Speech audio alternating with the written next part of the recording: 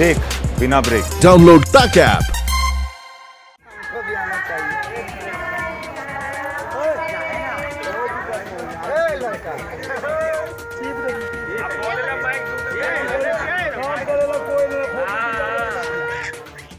सही पढ़ा आपने। कुआँ शादी समारोह। यहाँ सचमुच कुएँ की ही शादी हो रही है। आप तस्वीरों में साफ़ देख सकते हैं कि एक दुल्हन की ही तरह इस कुएँ को लाल रंग से सजाया गया है।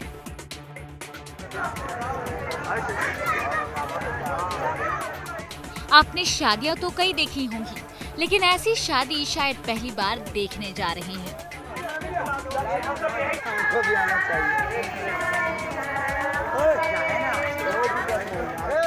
अब आप दूल्हे को भी देख लीजिए। ये वो हैं जिनसे कुएँ की शादी हो रही है। और आप तस्वीरों में ये भी देख सकते हैं कि इस अनोखी शादी में पूरा गाँव शरीक हुआ है।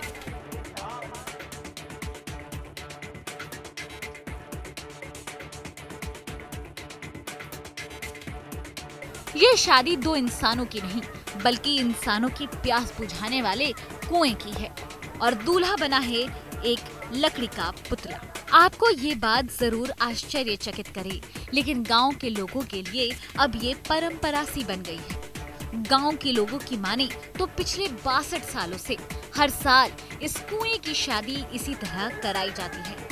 हर साल यहाँ के लोग इस कुएँ का विवाह कराने के बाद ही इसका पानी पीते हैं। गाँव के लोगों का मानना है कि इस तरह से हर साल कुएँ की साफ़ सफ़ाई हो जाती है।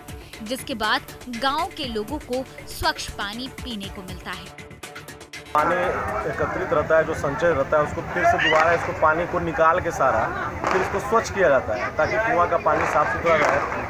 इसको देखा जाए तो अभी हमारे मुख्यमंत्री जी का जो योजना चल रहा है स्वच्छ पेयजल का, उससे भी इसको जोड़ के देखा जा सकता है। हालाँकि ये हमारे सनातन धर्म में परंपरा पहले से ही चलते आ रहा है। तो ये कई वर्षों से चलते आ रहा है। जी। इसमें लड़का लड़की भी बनता है। हर शादी की हर प्रक्रिया होती है? कुआँ को इसमें लड़की माना जाता है और काठ का लड़का बनाया जाता है। उसी से विवाह होता है। ताकि ताकि यहाँ मोहल्ले में जितना भी शादी ब्याह हो तो इस पर दल धोए हो सारा मैंने पूजा मैंने कुएँ का पानी का इस्तेमाल लोग। करते हैं। हालाँकि इसके बारे में एक पौराणिक मान्यता ये भी रही है कि कुंवारे कुएँ का पानी नहीं पिया जाता। लिहाजा कुएँ को सुहागन बनाकर ही उसका पानी पीना चाहिए। एक आम आदमी की शादी की तरह ही इस शादी में भी हल्दी, मड़वा और घृत धारी जैसी रस्में होती हैं। इन सब के बाद ही पाँच दिनों तक चलने वाला ये कार्यक्रम विवाह भोज के साथ समाप्त होता है और इलाके के लोग इस कुएँ के पानी से अपने सभी काम शुरू करते हैं।